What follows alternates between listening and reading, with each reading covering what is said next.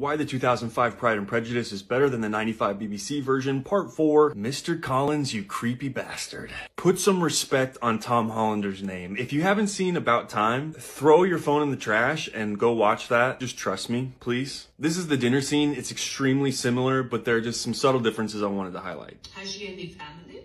Oh, she has one daughter.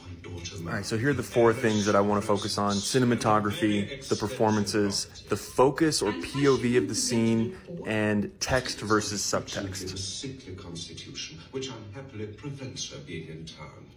And by that means, as I told Lady Catherine myself one day, she has deprived the British court of its brightest ornament.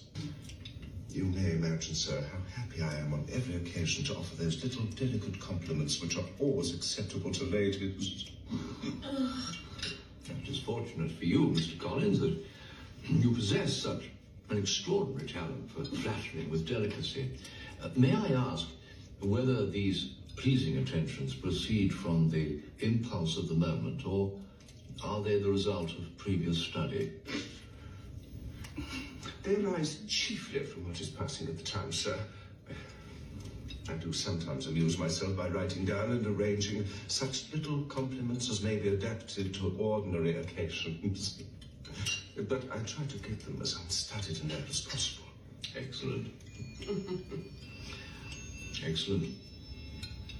Oh, Jane, you're in trouble. All right, on to 05. Does she have any family? One daughter, the heiress of Rosings in very extensive property. I've often observed to Lady Catherine that her daughter seemed born to be a duchess, for she has all the superior graces of elevated rank. These are the kind of little delicate compliments which are always acceptable to the ladies, and which I conceive myself particularly bound to pay. How happy for you, Mr. Collins, to possess the talent for flattering with such delicacy. These pleasing attentions proceed from the impulse of the moment, or are they the result of previous study?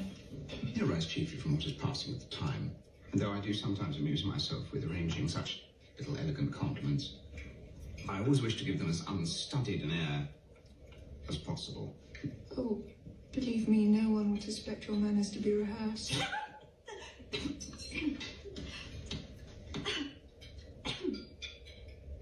After dinner, I thought I might read to you all for an hour or two, This I find relatable. I always try to do this with my friends and they don't let me do it. which speak very eloquently on all matters moral.